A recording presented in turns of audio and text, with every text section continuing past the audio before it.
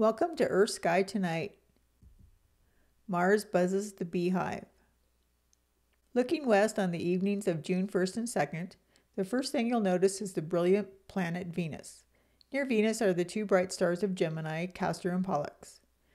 Next, look for the bright reddish point of light above them. That is Mars, and even though you probably can't see it with the unaided eye, Mars is passing through the Beehive star cluster. The Beehive Cluster, also known as Messier 44, is a beautiful open star cluster located in the dim constellation of Cancer. It contains over a thousand stars and is one of the closest and brightest star clusters visible from Earth. On the evenings of June 1st and 2nd, you can see the red planet pass in front of this cluster of stars. Since the cluster is not as bright as Mars, you'll need binoculars or a telescope to see it. This chart shows the approximate view through binoculars. Mars will appear as a ruby, gradually weaving its way through dozens of diamond-like stars. The best time to start watching is when the sky is getting dark.